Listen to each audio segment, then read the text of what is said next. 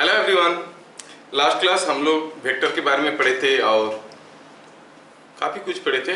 आज वेक्टर को थोड़ा आगे बढ़ाएँगे।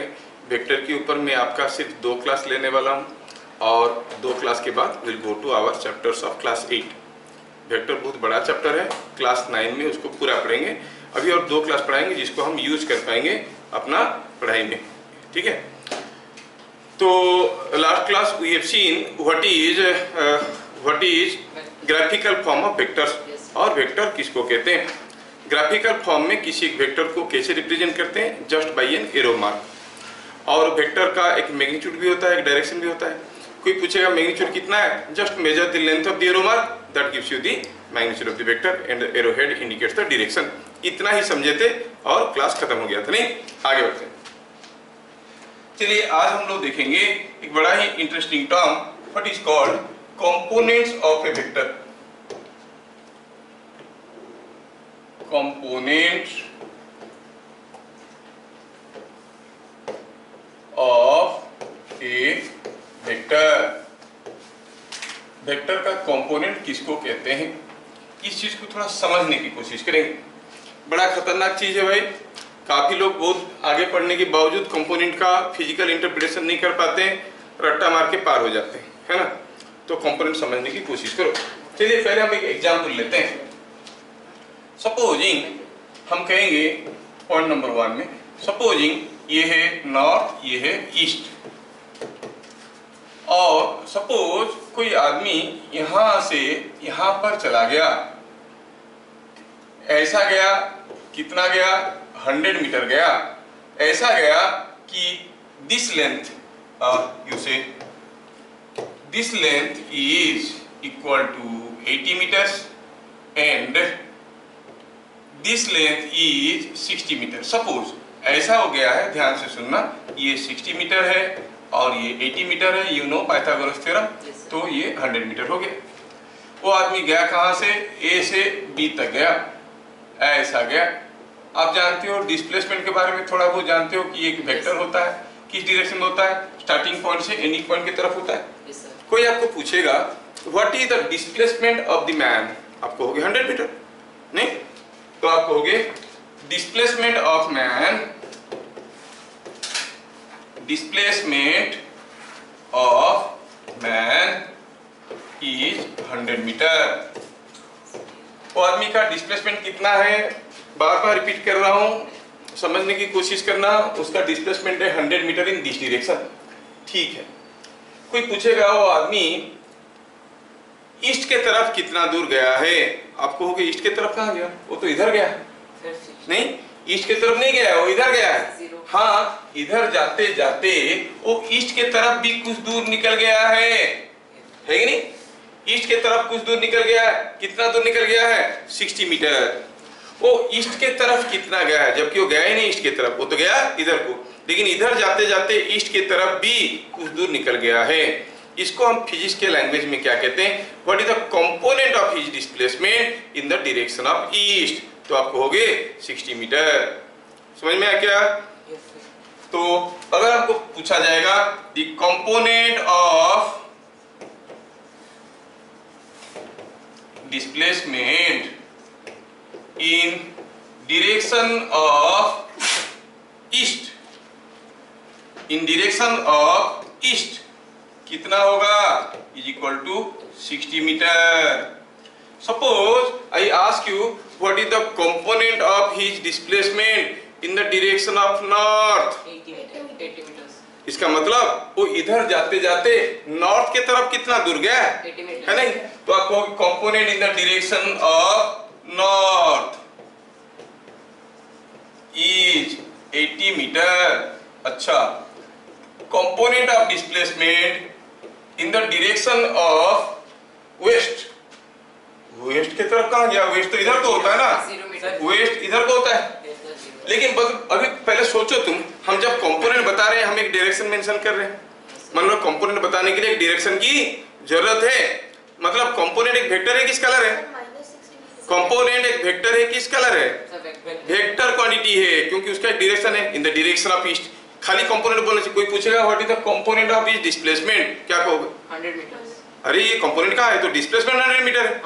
कंपोनेंट पूछेगा तो आप पूछोगे कौन से डायरेक्शन में बताओ? मतलब कंपोनेंट बताने के लिए आपको एक डायरेक्शन बताने की ज़रूरत है। इसका मतलब component of a vector is also a vector quantity अगर हम पूछेंगे what is the component of his displacement in the direction of west west के तरफ़ कितना गया? वेस्ट के तरफ़ तो नहीं गया। लेकिन ईस्ट के तरफ़ 60 मीटर गया है। ईस्ट के तरफ़ 60 मीटर गया मतलब वेस्ट के तरफ़ हाँ minus 60 component in the displacement in the direction of west is minus 60 metre क्या मेरी बात समझ में आ रहा है सबको? कोई पूछेगा? What is the component of his displacement in the direction of south yes minus 80 metre ठीक है ना? ये सारा चीज़ आपको बढ़िया से समझ में आ गया। ये जो चीज़ समझ में आया, उसको थोड़ा हम इलाबोरेट करके लिखेंगे।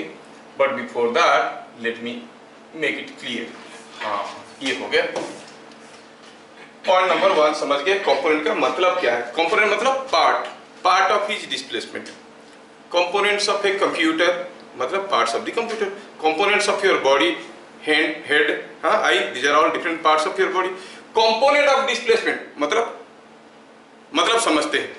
कोई आदमी अगर यहाँ से यहाँ पर जाना चाहता है 100 मीटर वो जा सकता है but there is another way of going कैसे जाएगा अगर वो ईस्ट के तरफ़ जाएगा 60 और नॉर्थ के तरफ़ जाएगा 80 उस डिस्प्लेसमेंट में पहुंचेगा कि नहीं पहुंचेगा। सो so, ये डिस्प्लेसमेंट पहुँचने के लिए उसको ऐसे ऐसे जाना चाहिए।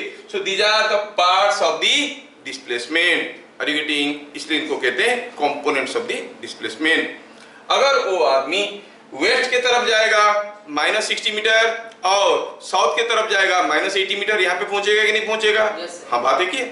तो component is also a vector remember component of a vector of a vector is also a vector component of a vector is also a vector समझ में आया क्या? तो कोई अगर डिस्प्लेसमेंट दिया है, उसका कंपोनेंट निकालना है और ऐसे करके हम निकाल सकते हैं, हमें पता चला। जो पता चला, उसको एक स्टेप आगे बढ़ते हैं। लेट अस सपोज़ आपको दिया गया है कि ये कोई नॉर्थ है और ये साउथ है और यहाँ पर किसी एक पार्टिकल का डिस्प्लेसमेंट दिया हुआ है। This is the displacement of the particle particle has moved from A to B हाँ ठीक है। कोई पूछेगा, बताओ what is the magnitude of displacement what is the magnitude of displacement आप क्या करोगे? टेक ए स्केल स्केल लेके ये लेंथ को मेजर करो। Just measure the length the length of this arrow mark will give you the magnitude of the displacement तो magnitude of displacement निकालना आपको आता है है ना? चलिए, अगर अभी हम पूछेंगे कि what is the component of his displacement in the direction of east क्या करेंगे? Look at the previous example इसका component in the direction of east जानने के लिए हम लोग ये लेंथ को देखते थे। अभी क्या करेंगे? I want to know the component of displacement मतलब मुझे कुछ ये वाला लेंथ की ज़रूरत है है कि नहीं? तो उसके लिए मैं क्या करूँगा?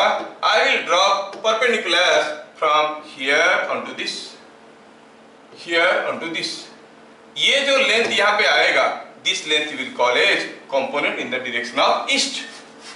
है कि नहीं? सर डायरेक्ट ऐसे नहीं कर सकते। हाँ क्यों नहीं कर सकते? अब यहाँ पे करोगे और यहाँ पे करोगे कोई डिफरेंस आएगा क्या? है ना? तो इसका मतलब to know the component of this displacement in the direction of east हमें क्या करना पड़ा? ईस्ट के ऊपर परपेंडिकुलर ड्रॉ करने पड़े। और जो सेगमेंट मिला, जो शेडो मिला, जो इंटरसेप्ट मिला, जो प्रोजेक्शन मिला that is what is called the component of the vector in the direction of east है कि नहीं? अगर हमें पूछा गया, चलो ग्राफ पेपर में इसे ड्रॉ करके दिया है what is the magnitude of displacement फटाक से स्केल लगाए, नाप लिए, बता दिए। Component of displacement in the direction of east तो दो परपेंडिकुलर ड्रॉ करो, ये लेंथ को मेजर करो। This length will represent the component of displacement in the direction of east अगर ये दोनों पॉइंट को मैं नाम कुछ ऐसा देता हूँ सी एंड डी तो सी डी क्या हो गया? Magnitude of component in direction of east. अगर मुझे पूछा गया ग्राफ पेपर में ग्राफ ड्रॉ करके दिया गया है, और पूछा गया, बताओ what is the component of this displacement in the direction of north तो आप क्या करोगे? You will take a scale you will draw perpendicular from here you will draw perpendicular from here on to this end here on to this end then you get a intercept say it is E and it is F तो आप क्या कहोगे? E F क्या बन जाएगा? Magnitude of component of in direction of direction of north क्या मेरी बात समझ में आ रहा है कोई भी वेक्टर अगर ग्राफ पेपर में आपको ड्रॉ करके दिया गया है उसका अगर कंपोनेंट आपको पूछा गया तो क्या करोगे? उसका हेड और टेल से जिस डायरेक्शन में कंपोनेंट पूछा गया है, उस डायरेक्शन पे परपेंडिकुलर ड्रॉ करोगे। जो छोटा सा प्रोजेक्शन मिलेगा, उसको हम कहेंगे component of the vector in that direction है ना? जो चीज़ अभी समझ में आ गया। अभी क्या समझ में आया? कि कोई वेक्टर अगर ग्राफिकली दिया हुआ है, उसका कंपोनेंट कैसे निकालते हैं? है ना? So when to find component of a vector. In any direction we draw perpendiculars. We draw perpendiculars from the head and tail of the vector onto that direction. The projection projection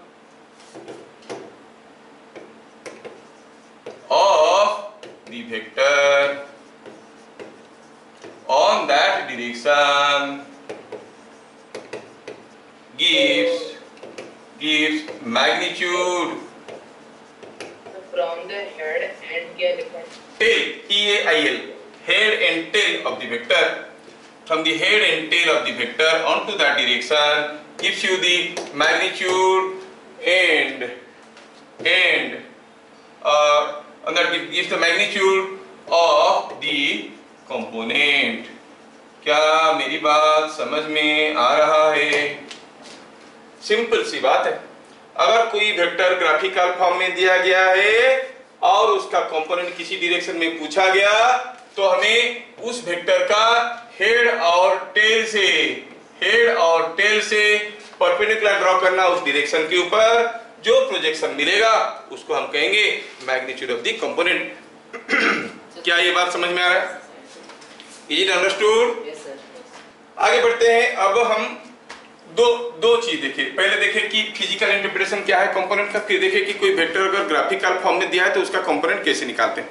Now we want to go for the third approach mathematically कैसे पता करेंगे कि component of a vector कैसे निकाला जाए? चलिए। Point number three थोड़ा ध्यान से देखना, यहाँ पे छोटा सा एक डिराइवेशन करना चाहता हूँ।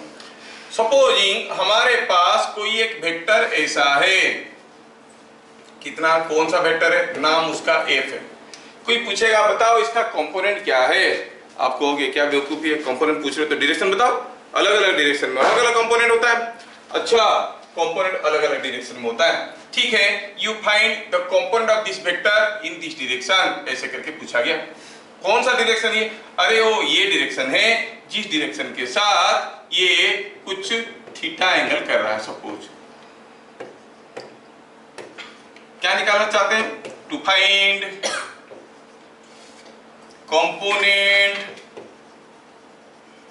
of vector F along A B हमें ये चीज़ निकालना है। ठीक है, ये चीज़ अगर निकालना है तो इसको यहाँ रखते हैं। ये तुम आ जाओ नीचे। ठीक है, हम इसको यहाँ रखेंगे। To find the component of the vector in the direction of A B तो जितना नॉलेज हमारे पास है, उसके बलबुत्ते पर अगर आगे बढ़ते हैं तो हमें क्या करना पड़ेगा?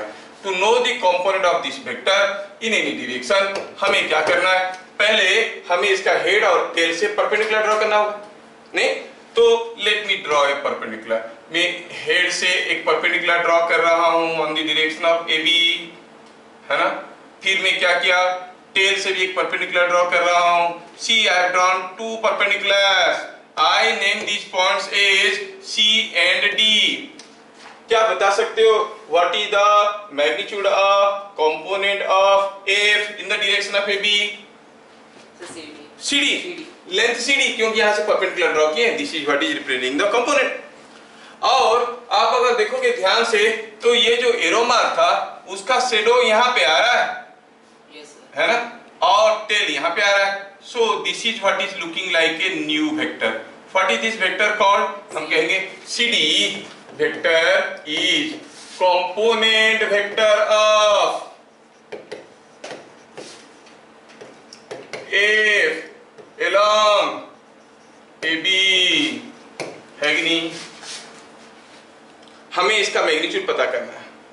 Means we want to find out the magnitude of CD that is magnitude of component. Along किस डायरेक्शन में चाहिए?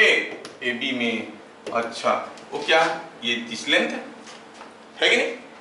This length represents magnitude of the component थोड़ा देख के बताओ क्या ये लेंथ ये लेंथ के बराबर नहीं है क्या? This length and this length are same और अगर ये एंगल थीटा है तो ये एंगल भी तो थीटा ही है। और अगर हम इस ट्रायंगल को देखते हैं चलो ये पॉइंट था ए ये पॉइंट था बी ये पॉइंट था ई सी डी तो ले चुके हैं। अच्छा ये भी ऑलरेडी था। सॉरी सॉरी सॉरी तो हम कहेंगे ये जो वेक्टर थे ये वेक्टर का ये A B C D E हो E, चुका है। तो ले लो ए, ये ले लेते हैं। एफ़ है. अच्छा तो ठीक है। PQ ले लेते हैं. चलो पी क्यू ले लेते हैं। Small A B C D ले लेते हैं। ए अच्छा ये भी नहीं लेते हैं। बोलो आप किस नाम से नामकरण करेंगे। ए बी सी डी हो चुका है। ले लेते हैं ये ई ये जी ये पी ठीक है? कुछ भी ले लेंगे, क्या फ़र्क पड़ता है? नाउ कोई पूछेगा वेक्टर एफ़ का मैग्नीट्यूड क्या है? आप कहोगे इजी अरे इजी तो है, लेकिन कितना है, बताओ? नहीं इजी है। अरे इजी मतलब ई से जी तक का डिस्टेंस है। अच्छा वेक्टर एफ़ का component in the direction of A B क्या है? आप बोलोगे मैग्नीट्यूड ऑफ़ सी डी वो क्या है? सेम एज ईपी है कि नहीं? अच्छा this is equal to EP है कि नहीं? ये लेंथ ये लेंथ की बराबर है। Yes, लेकिन थोड़ा ये ट्रायंगल को आप देखो तो आप कहोगे ईपी बाई ईजी आपको मालूम है कि ईपी बाई ईजी कौन सा cos theta sin theta tan theta cot theta क्या होता है? EP by EG base by hypotenuse क्या होगा? Cos थीटा ये हमें मालूम है। अच्छा तो फिर ईपी क्या हो गया? ई जी cos थीटा है कि नहीं? ये ईजी cos थीटा है। लेकिन ईजी क्या है? EG is length of this arrow mark length of arrow mark क्या रिप्रेजेंट करता है? Magnitude of vector F length of arrow mark represents magnitude of vector F तो इसको हम लिख सकते हैं। It is magnitude of vector F into cos theta देखा? किसी भी वेक्टर का किसी भी डायरेक्शन में कंपोनेंट निकालने के लिए दो तरीके हो गए। एक तो graphically using scale pencil protractor draw perpendicular measure the length और multiply the magnitude of the vector with cos theta फिर theta is angle between vector and the direction ये हो गया न्यूमेरिकल अप्रोच समझ में आया क्या? समझ में आया कि ऊपर से गया? समझ आया समझ में आया? तो कोई भी वेक्टर का किसी भी डायरेक्शन में अगर कंपोनेंट निकालना है तो हम क्या करेंगे? उस वेक्टर का मैग्नीट्यूड को cos थीटा के साथ मल्टीप्लाई करेंगे। तो क्या लिखेंगे? इसमें थीटा क्या है? Theta is angle between vector and direction है ना? Angle and prescribed direction. Prescribed direction in which the component is to be found. Vector and the prescribed direction इनके बीच में जो एंगल है, उसको अगर हम थीटा कहेंगे थीटा कहने से हमारा cos theta multiply to the magnitude gives you the magnitude of the component फिर से रिपीट करता हूँ, इतना सारा डिस्कशन के, सारा चीज़ को समराइज करता हूँ दो लाइन में। किसी वेक्टर का कंपोनेंट किस डायरेक्शन में क्या होता है? निकालने की दो तरीका हुआ। एक हुआ ग्राफिकल अप्रोच जिस डायरेक्शन में वेक्टर का कंपोनेंट चाहिए, उस डायरेक्शन में वेक्टर से हेड से टेल से परपेंडिकुलर ड्रॉ करो। जो इंटरसेप्ट मिला, जो प्रोजेक्शन मिला, उसको स्केल से नाप लो। That gives you the magnitude of the component और अगर न्यूमेरिकली निकालना है, किसी भी वेक्टर का किसी भी डायरेक्शन में तो वेक्टर का मैग्नीट्यूड को cos थीटा के साथ मल्टीप्लाई कर दो। थीटा क्या है? Theta is the angle between vector and the prescribed direction in which we want to find out the component अगर हमें सब कुछ सचमुच समझ में आ गया तो आप मुझे दो तीन चीज़ों की छोटी छोटी आंसर दो। पहला question in figure shown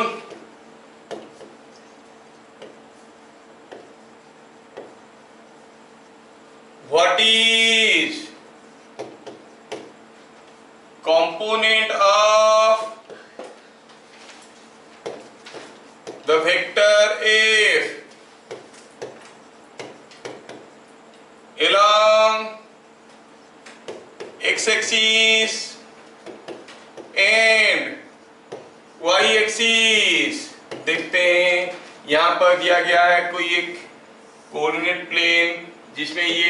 axis है ये वाई एक्सिस है यहाँ पर कोई एक वेक्टर दिया गया है जिसका मैग्नीट्यूड है कितना? 20 और ये एंगल दिया है 30 डिग्री क्या मुझे कोई बता सकता है?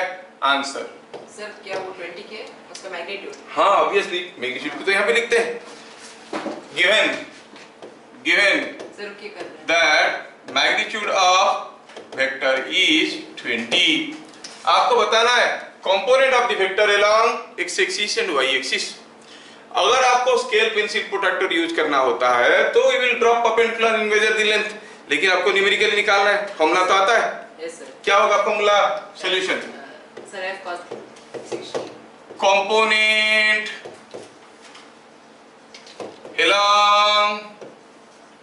axis किसी भी डिरेक्शन में कॉम्पोनेंट निकालो फार्मूला तो एक ही है। थीटा हम एफ़ के जगह क्या लेंगे? एफ़ के जगह क्या लेंगे? एफ़ का मैग्नीट्यूड ट्वेंटी क्या कोई मुझे बताएगा? कॉस थीटा में थीटा के जगह क्या लेंगे? थीटा थीटा था क्या? Theta was angle between the vector and it was angle between the vector and the prescribed direction X axis में कंपोनेंट निकालना चाहते हैं। ये एक्स एक्सिस के साथ क्या एंगल कर रहा है? Cos 60 60 और cos 60 तो होता है। Sir 1 by 2 1 by 2 One by तो ये बन गया 10 यस सर समझ में आया क्या? यस सर कोई पूछेगा component of the vector along y axis Sir, कैसे निकालेंगे? Cos 30. फॉर्मूला तो ही लगाएँगे ना? Yes. Formula will be same formula will be same sir 20 root by root 3 is equal to 21. magnitude of f cos theta magnitude of f हो गया 20 cos 60 की जगह क्या लिखेंगे? 30 so 1 by root 3 ये हो जाएगा root three by two root three by two हो गया तो ये बन गया टेन रूट थ्री चलिए अगला क्वेश्चन आपके लिए।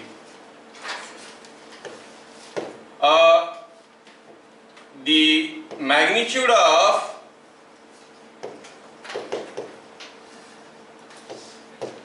x component or magnitude of component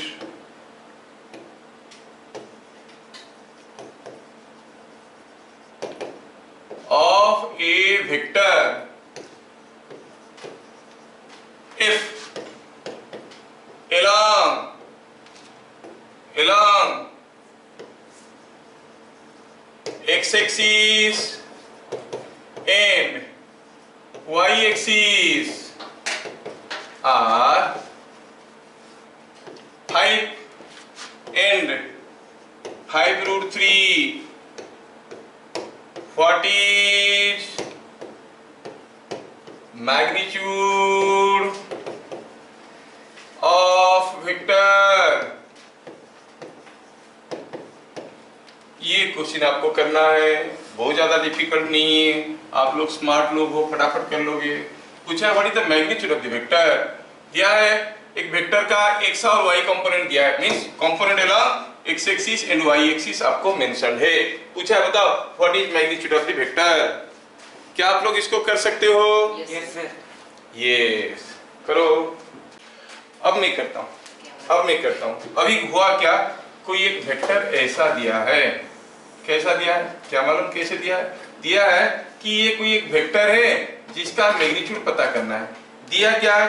दिया है कि उसका एक्स कंपोनेंट मतलब एक्स कंपोनेंट मतलब ये लेंथ कितना है? फाइव और वाई कंपोनेंट मतलब कंपोनेंट अलोंग वाई एक्सिस. है ना. कंपोनेंट अलोंग y एक्सिस क्या हो गया? क्या दिया है. It is coming out to be five root three ऐसे दिया है? ये लेंथ अरे ये क्यों हो गया? अच्छा ये कॉम्पोनेट एला हुआ ये एक्सिस इज़ गिवन अच्छा ये मालूम है और ये मालूम है तो क्या आप ये पता नहीं कर सकते magnitude of vector yes it is clearly seen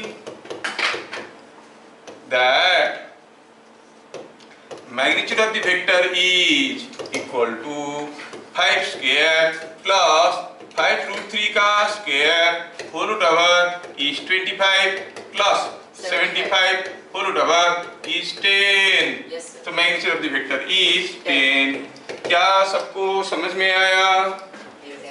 आया? यस सर यस चलिए अगला question give an example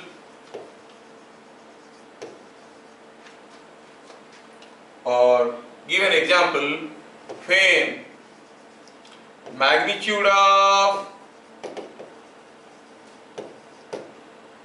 component of a vector.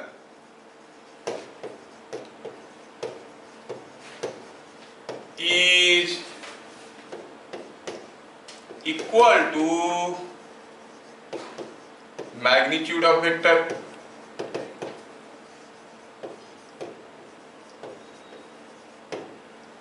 दूसरा है ज़ीरो। तीसरा है greater than greater than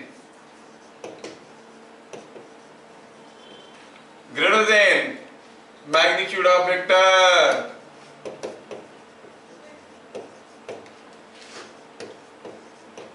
तो आपको एग्जांपल देना है ऐसा कि आ, कोई वेक्टर का कंपोनेंट का मैग्नीट्यूड वेक्टर के मैग्नीट्यूड के बराबर है। है ना? ग्राफिकली भी देना है और समझाना है। ज़ीरो भी है। तीसरा क्या हुआ? ग्रेटर है। मैग्नीट्यूड ऑफ़ वेक्टर से ज़्यादा है। ठीक है। तीन चीज़ को आप फिजिकली इंटरप्रेट करो। फॉर्मूला के तौर पे तो हर कोई कर सकता है you must physically be able to understand and interpret what it really means ठीक है। कोशिश करिए, क्या हो सकता है? अगर हो सकता है तो कब होगा? क्या? Equal to the of the vector of component of vector is equal to magnitude of of the vector समझ में आया हाँ? सोचिए। पहला केस पहला केस है सॉल्यूशन में बोल रहा है कि magnitude of component will be equal to magnitude of the vector अच्छा suppose F is a vector magnitude of component क्या होता है? एफ़ cos थीटा है कि नहीं? मैग्नीट्यूड ऑफ़ कंपोनेंट क्या होता है? F cos theta this will be equal to this magnitude of vector यही तो दिया है। ऐसा कब होगा? जब cos थीटा वन है। मतलब थीटा कितना है? ज़ीरो मतलब अगर वेक्टर और डायरेक्शन के बीच में ज़ीरो एंगल है सपोज़ ये है वेक्टर और ये है direction what is the magnitude of component of this vector in this direction angle zero है। परपेंडिकुलर ड्रॉ करके देखो। अरे कंपोनेंट का मैग्नीट्यूड वेक्टर का मैग्नीट्यूड के बराबर आएगा कि नहीं आएगा? सिंपल सा है कि नहीं? So, कोई वेक्टर का कंपोनेंट का मैग्नीट्यूड वेक्टर के बराबर कब आएगा? जब हम उसका कंपोनेंट निकालेंगे in the direction of vector समझ में आया क्या?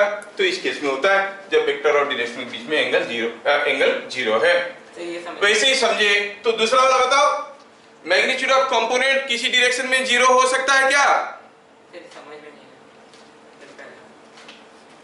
पहला वाला में जैसे हम लोग किए क्या दिया था?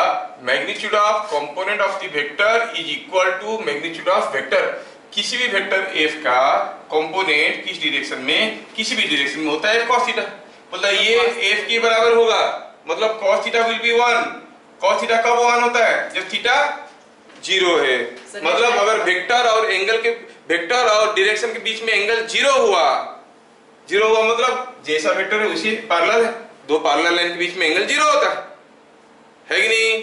तो हम कहेंगे दोनों के बीच में एंगल ज़ीरो है। तो इसका अगर कंपोनेंट हम इस डायरेक्शन में निकालेंगे तो क्या होगा? हेड और टेल से अगर परपेंडिकुलर ड्रॉ करेंगे।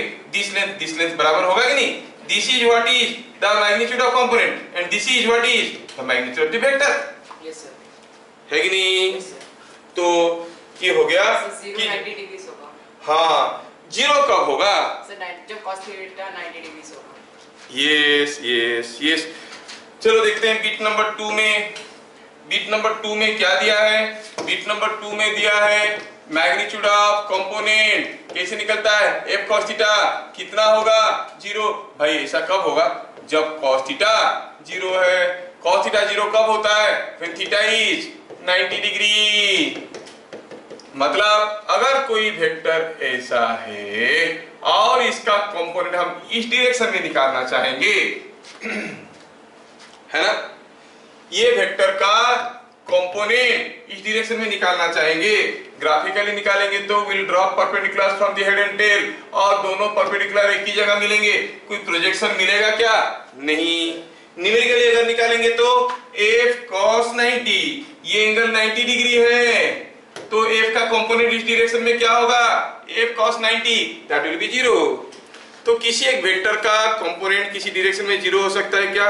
हाँ हो सकता हाँ, है कौन से डायरेक्शन में? In direction perpendicular to the vector तो ये चीज़ आपको याद रखना है that the component of a vector in any direction perpendicular to it is equal to zero ये बहुत ही इंपॉर्टेंट है।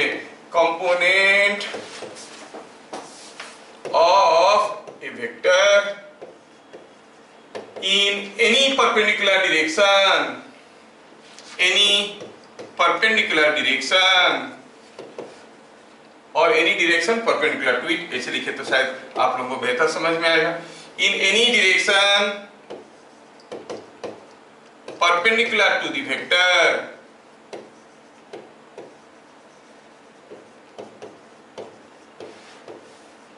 is equal to zero. समझ में आ रहा है क्या? हम्म? यस सर सपोज़ हम कहेंगे यहाँ पे कोई एक पेंडुलम झूल रहा है। पेंडुलम का अपना वेट है। Just for sake of example component of weight in horizontal direction.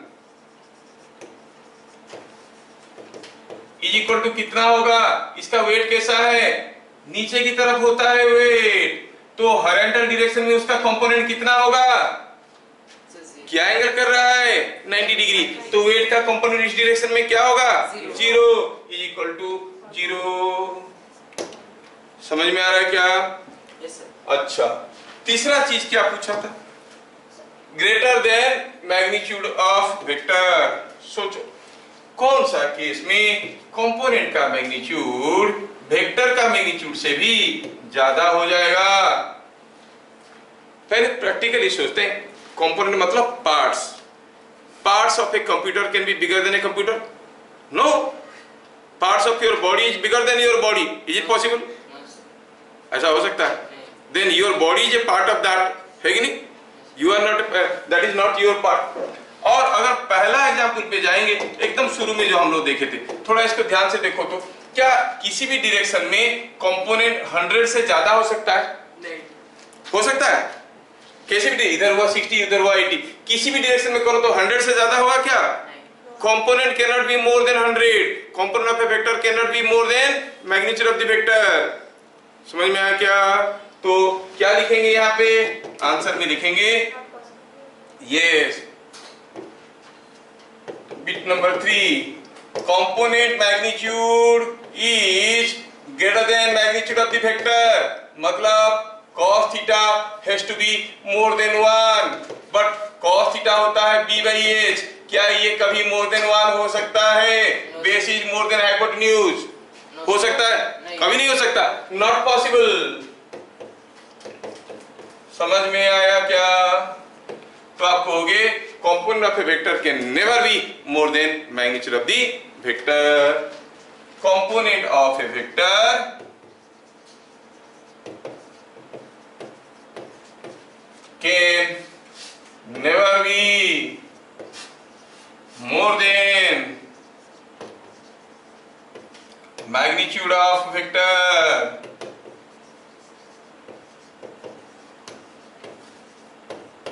ये बात हमें समझ में आया क्या ये क्वेश्चन का आंसर सबको बढ़िया से समझ में आया इज़ इट अंडरस्टूड. हाँ अच्छा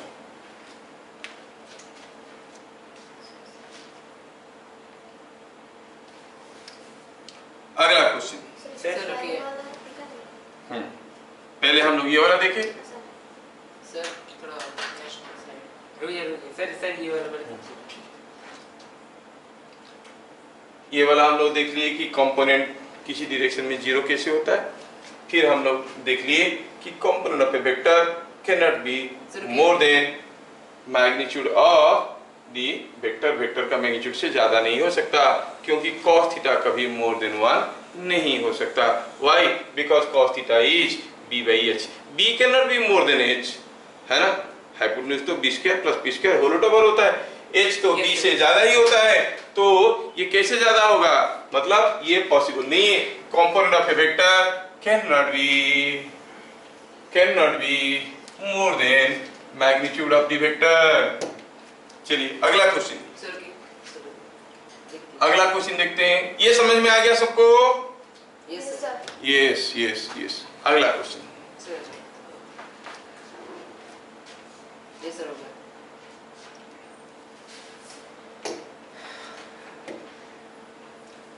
A man moves. a man moves 130 meters in such a way that the component of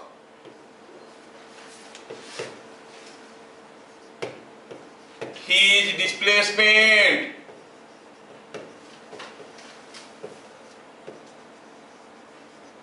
the component of his displacement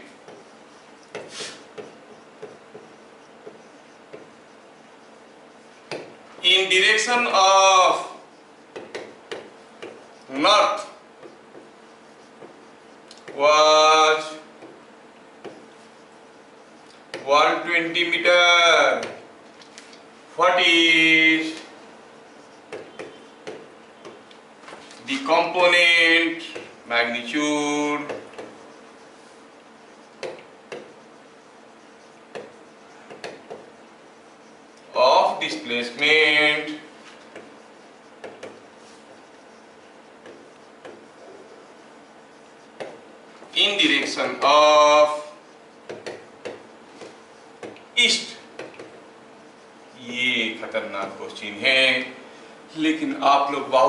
हो आप तो कर लोगे।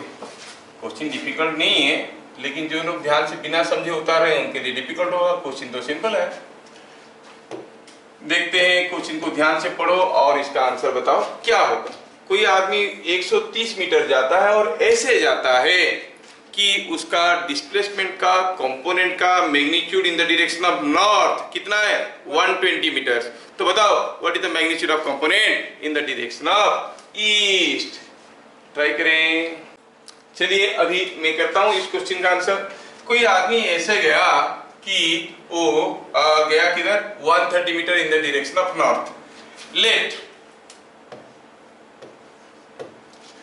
x is component along east. Y is component along north. क्या है उसका वैल्यू दिया है 120 और magnitude of displacement is given 130 क्या ये तीनों में कुछ रिलेशन आपको आता है. ये हो गया मैग्नीट्यूड ऑफ़ कंपोनेंट और ये हो गया आपका वाई ये हो गया आपका एक्स तो आपको मालूम है कि magnitude of component is equal to X square plus Y square और मैग्नीट्यूड ऑफ़ कंपोनेंट का स्क्वायर इज़ दिस Yes, हमें क्या पूछा गया? Component in the direction of east नहीं? तो हम कहेंगे x square is equal to S square minus Y square अब एस स्क्वायर मतलब 130 का स्क्वायर वाई स्क्वायर मतलब 120 का square that is X square और x निकालोगे तो it will be coming out to be 50 metres Yes, क्या सबको समझ में आया? Is it understood yes sir no कोई कुछ बोल yes, नहीं रहा है। Yes, sir. यस हाँ। ठीक है। चलिए अगला क्वेश्चन आपके लिए क्या आपको मालूम है कि फोर्स मास और एक्सीलरेशन में क्या रिलेशन है? क्या? Force is equal to mass into mass into acceleration चलिए see this question here as shown in figure a force of magnitude 20 newton pulls the block on a friction surface at an angle 30 degree to vertical find acceleration of the block क्या मालूम है हमें? हमें इतना मालूम है कि कि जो एक्सीलरेशन होता है किसी बॉडी के ऊपर due to application of force इसको हम ए से डिनोट करते हैं that is given by F by M इसमें एफ़ क्या होता है? ड्राइविंग फोर्स जो फोर्स ड्राइव कर रहा है एम क्या होता है? ड्रिवन मास जो मास ड्रिवन है, ये फॉर्मूला आपको आता है। हमें अभी ड्राइविंग फोर्स ड्रिवन मास निकालना है। पहले सोचो जब ये ब्लॉक को ये फोर्स खींचेगा कितना फोर्स 20 न्यूटन वाला। क्या ये ब्लॉक यहाँ से निकल के ऐसे जाएगा। नो ये ब्लॉक ऐसे नहीं जाने वाला। रेदर जाएगा कैसे? खींचने से। On the smooth floor it will go something like this है कि नहीं? The block will go like this आपको सर ये तो मैजिक हो गया। खींच रहा है इधर जा रहा है इधर। है कि नहीं? खींच रहा है इधर, जा रहा है इधर। सोचो, आपके सामने एक टेबल पड़ा है। आप टेढ़ा करके खींचोगे, क्या टेबल ज़मीन को छोड़ के आपके पास आता है? वो तो स्लाइड करते हुए आता है। है कि नहीं? ऐसा क्यों हो रहा है? बिकॉज़ हम इधर खींचते खींचते इधर भी खींच रहे हैं। और इधर भी खींच रहे हैं। लेकिन इसका वेट काफ़ी ज़्यादा होने के कारण हमारा ये वर्टिकल खिंचाव इसको उठा नहीं पा रहा है। लेकिन हैंडल जो खिंचाव है उसको मूव करवा पा रहा है। तो क्यों मूव कर रहा है? एफ़ के चलते मूव कर रहा है कि हॉरिजॉन्टल कंपोनेंट ऑफ़ एफ़ के चलते मूव कर रहा है। ये ब्लॉक अगर अभी मूव करेगा तो क्यों मूव करेगा? ड्यू टू एफ़ और due to vertical component of F और due to the horizontal component of F किस लिए मूव करेगा? सबके लिए. कैसे मूव किया? वर्टिकल कंपोनेंट के लिए चलते तो मूव नहीं करता। करेगा. हॉरिजॉन्टल कंपोनेंट के लिए मूव करेगा। हॉरिजॉन्टल कंपोनेंट मतलब component of this vector in this direction इस डायरेक्शन में जो कंपोनेंट है, उसके चलते मूव करेगा। तो क्या लिखेंगे? Here here the block moves due to horizontal component